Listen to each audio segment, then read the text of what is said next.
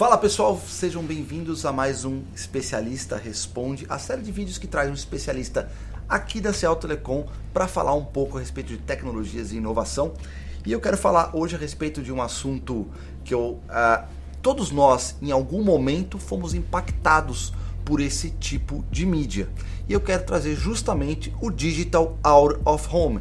E para me ajudar a falar um pouco a respeito desse, dessa modalidade de mídia, eu trouxe aqui Mr. Jonas Rosa. Fala, Jonas, tudo certinho contigo, cara? Tudo certo, tudo ótimo. Boa. Beleza, obrigado por me receber. Fico feliz que a gente tem espaço para ter essa discussão. A gente tem tido um crescimento muito legal nessa área e, e o mercado, cara, é incipiente aqui no Brasil ainda e na América Latina. Então a gente tem muito para onde crescer e quanto mais conhecimento a gente disseminar, melhor. Melhor gerente da parte Digital Out of Home daqui, já com vários clientes que a gente estava conversando aqui um pouco antes. Sim. É, mas vamos falar um pouco do que se trata o Digital Out of Home, como é que ela se difere dos outros tipos de mídia que a gente está acostumado a ver? Cara, o, o, Digital Out of Home, ele enquadra qualquer mídia que você vê a partir do momento que você sai da sua casa, né? Então, aquela mídia que você vê no ponto de ônibus, no relógio na rua, na gôndola do supermercado, aquela mídia que você vê na vitrine das lojas, tudo aquilo se encaixa como out of home. A diferença é que você tem diferentes players ali disputando esse espaço, né? Ou seja, em imobiliário urbano você tem empresas de mídia e aí dentro do varejo você tem a área de trade negociando o espaço ali para que aquilo possa ser visto da melhor forma por todo mundo que tem que ser atingido, né? Mas a diferença principal entre o out of home e o que a gente tinha de mídia na rua do passado é que a gente deixa de ter aqueles outdoors que às vezes as propagandas estavam antiquadas ou que era um custo gigante de operação para conseguir toda semana ir lá trocar a cola e, e o anúncio que estava lá e agora no -lambi, né? exato agora no clique do, do botão cara na hora o conteúdo já muda a atualização realmente é, é assim em real time que acontece e a capacidade de gerir o conteúdo é muito maior para quem está administrando as telas né então ele vem com a ideia de facilitar a vida das empresas de mídia. Né?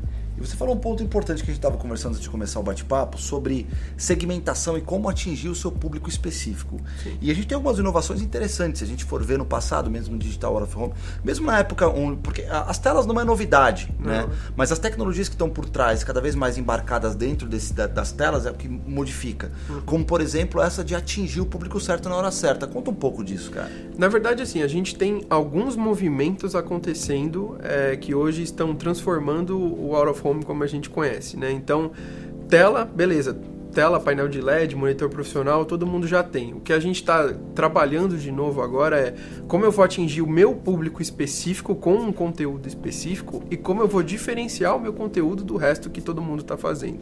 Então, em relação à captação de dados, a gente tem conseguido desenvolver novas ferramentas aí com vários players que hoje tem ferramentas que captam imagens de câmeras para medir o público, mede a audiência percebe o humor das pessoas quando elas veem uma propaganda, como que muda, qual que é a reação delas, quantas pessoas estão passando ali por dia, qual que é a segmentação de idade, de gênero, enfim, a gente consegue ter uma profundidade maior nesses dados. E hoje as ferramentas de gestão de vídeo, de gestão de conteúdo, já tem outras caixinhas ali do lado que estão acoplando essa gestão de conteúdo. Então, tendo a gestão de conteúdo e tendo a captura do, do dado, eu já consigo automatizar a mudança de conteúdo baseado nesse dado. Então, se eu tenho uma, uma loja de varejo e a gente tem um corredor em que ele está percebendo que entrou um homem no corredor, ele pode fazer uma propaganda específica para aquele público. Entrou uma senhora de idade, ele consegue mudar a propaganda e colocar um conteúdo que seja específico para ela. Então tudo isso é mídia programada, né, é, de acordo com o seu interlocutor.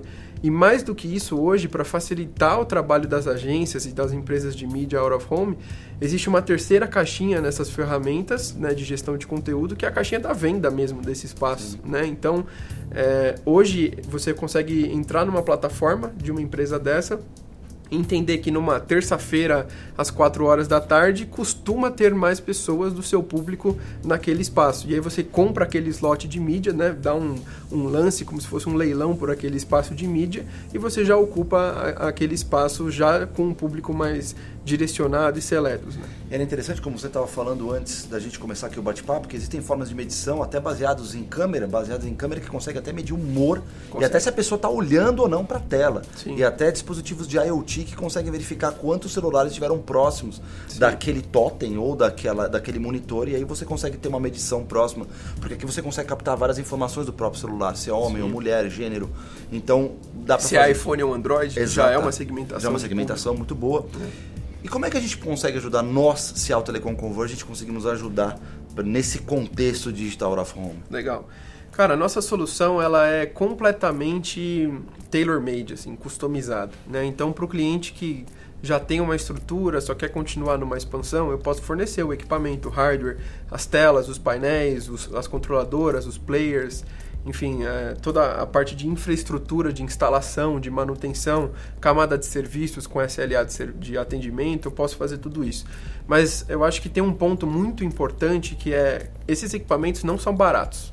Né? Eles são equipamentos que exigem um investimento muito alto da empresa de mídia ou do varejo para que eles possam ser instalados lá no ponto final.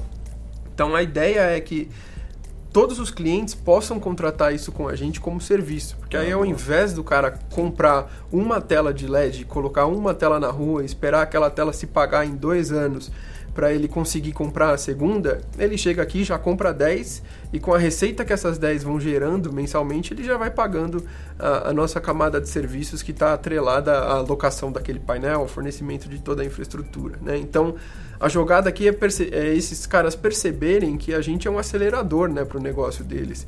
Que eu sou o, o, principal fornecedor em termos de, de acelerar a transformação digital Sim. dessas empresas de mídia. Né?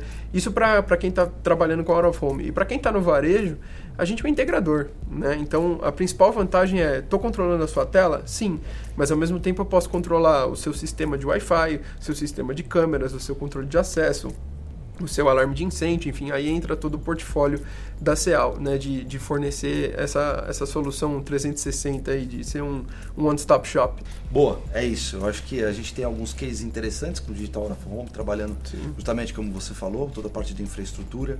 É, temos um conhecimento muito grande com áudio e vídeo, temos o nosso software próprio, inclusive, para gestão de, de, de, digital signage, por exemplo. Sim. Então, cara, eu quero te agradecer por trazer um pouco. Acho que é, educação é sempre importante para o mercado, para quem não conhecia Digital Out of Home, conheceu agora. E agora até o pessoal já sabe que agora o nome que se dá para aquelas telas que se vê na rua é o famoso DOOH ou Digital Out of Home, cara. Exato. Obrigado por estar com a gente. Imagina, eu que agradeço, fico à disposição para sempre que precisar ter um bate-papo aí relacionado a isso. Eu gosto muito de falar sobre isso e gosto de ver o quanto o mercado está crescendo no Brasil Boa. e na, na América Latina, em que a gente já tem alguns projetos caminhando também, né? A gente não está só falando de Brasil. Sim. Então, agradeço de novo o espaço e bola para frente, bora vender mais. Boa, Jonas. Valeu, cara. Obrigado Valeu. mesmo. É isso aí, gente. Obrigado e até o próximo Especialista Responde. Valeu!